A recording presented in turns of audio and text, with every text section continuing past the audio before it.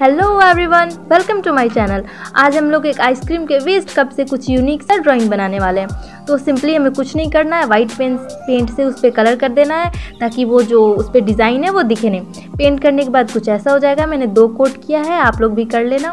फिर बचे उसके ढक्कन की बात तो उसको भी हम लोग अच्छे से पेंट कर देंगे और फिर पेंसिल से कुछ डिज़ाइन बना लेंगे जो आपको पसंद हो। फिर ब्लू और वाइट को मिक्स करेंगे और हल्का ब्लू बनाएँगे स्काई ब्लू बोल सकते हैं आप। और फिर उसे जो डिज़ाइन हमने बनाया था उस पर अच्छे से पेंट कर देंगे। बिल्कुल ऐसे। और पेंट करने के बाद वो कुछ ऐसा लगेगा। अभी भी देखने में थोड़ा बोरिंग लग रहा है तो हम ब्लू में थोड़ा और वाइट मिलाएँगे और साइड साइड ऐसे बॉर्डर कर देंगे, ताकि ये देखने में थोड़ा अच्छा लगे। देखिए, मैंने किया है, आप लोग भी कर लेना। देन नेक्स्ट उसके बाद हम लोग येलो कलर लेंगे और जो सर्कल बनाया था उसको फिल कर देंगे। और फिल करने के बाद वो कुछ ऐसा लगेगा। और याद रहे, इसे धूप में ज़रूर सुखाए, वरना ये सारा फैल जाएगा।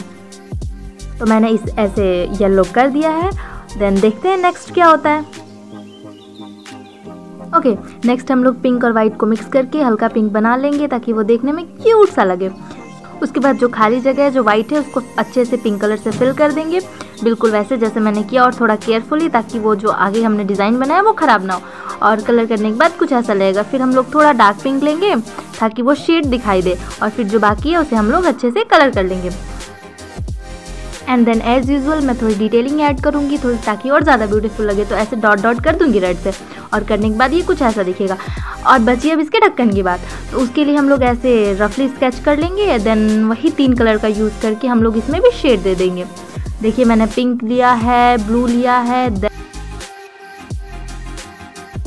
ओके पिंक और ब्लू तो हो गए। अब बची येलो की बात। तो येलो को जो जो खाली स्पेस है, उस पर अच्छे से फिल करते जाएँगे। और देखिए, ये रहा हमारा फाइनल लुक तो thank you for watching and please like and subscribe my channel. Thank you. Bye bye